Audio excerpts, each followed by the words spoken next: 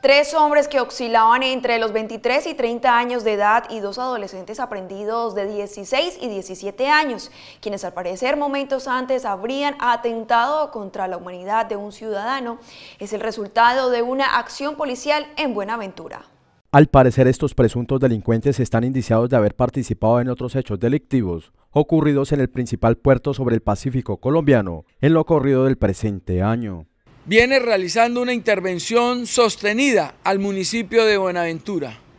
Se ha generado un foco de atención, se ha priorizado este municipio, se han generado esfuerzos institucionales importantes. Producto de ello es la captura de cinco delincuentes que generaron dos homicidios, tuvieron participación directa, igualmente generaron unas personas heridas haciendo uso de pistolas, de armas de fuego, de esta manera se logran capturar en flagrancia,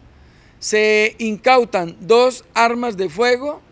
la respectiva munición para la misma, se les incautan dos motocicletas que venían utilizando para su movilización y la comisión de estos hechos delictivos.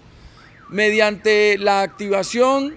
del plan candado se logra, y en el marco de la ruta por la vida, se logra este importante resultado se dejan a disposición por el delito de tráfico y porte ilegal de armas de fuego, homicidio agravado y les fue dada la medida de aseguramiento intramural. Seguiremos trabajando, ya son más de 100 los homicidas capturados en lo corrido del año, con especial enfoque en Palmira, Buenaventura, Tuluá y Cartago.